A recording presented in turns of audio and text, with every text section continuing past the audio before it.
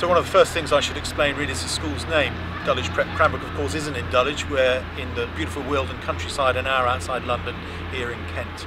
And alongside our, our brother school, Dulwich Prep London, we form one of the biggest prep school trusts in the country. Here we have boys and girls from the ages of two and a half through to 13 in a beautiful 50 acre site uh, with huge opportunity uh, and uh, a whole range of activities on offer for the children, uh, learning both inside and outside. So one of the things that we benefit from here is space, and as you can see, uh, we have this beautiful Wealden countryside in which the children can uh, can play and learn. Uh, one of the things year three were doing yesterday was getting out into the grounds and using an app called Seek to uh, use image recognition software to look at fungus. Uh, wonderful names like apricot jelly and uh, the leafy brain, and they came across all of these wonderful specimens. So our space and facilities here also bring opportunity and the children have a whole range of opportunities in sport, art, music and drama uh, from the wonderful environment they've got here. Uh, year 6 for example this term are performing their play which would normally happen in our theatre outside in the Rose Garden and in the Nature Reserve and we're lighting that uh, to make a, a, really atmospheric performance of the Grimm's fairy tales which will be live uh, for parents later on this term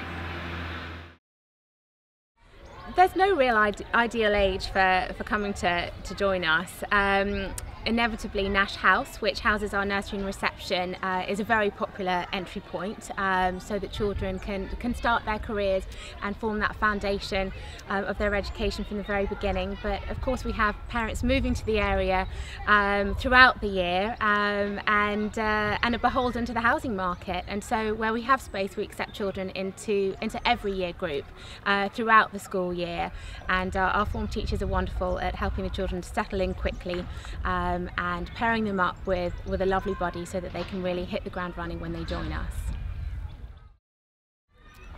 If you're looking for entry into nursery, uh, particularly if it's mid-year, so a January or April start, then my recommendation is to register children sooner rather than later uh, because we do operate uh, a, a, system of, uh, of entry uh, subject to date of registration. However, that said, uh, wherever we have, have space,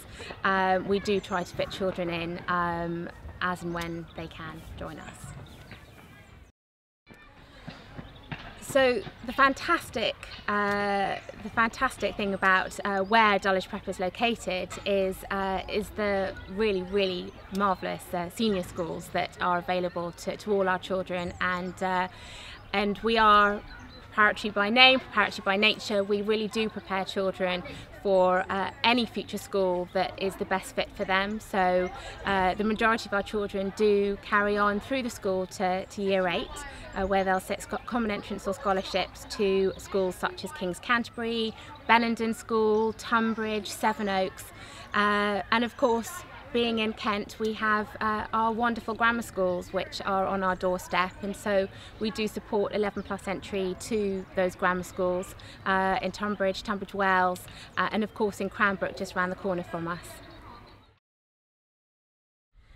My best advice for anyone looking to, to move to the area is to come and visit us. Give me a call or send me an email and we can arrange a tour for you. Um, and, uh, and let me know what your child's interests are and we can bring those areas to life as, as part of the tour and, uh, and give you the best possible um, idea and feel for, for what we're all about. And, uh, and thereafter, if you want to proceed to the next stage, it would be a taster day uh, for your child and we'd find a day uh, where the timetable reflects what your child most enjoys and as part of that day they would have an informal assessment. Uh, in reading, writing and maths it's not a pass or fail, it just enables us to understand um, the level that your child is, is working to currently and uh, so they can hit the ground running uh, should they join us.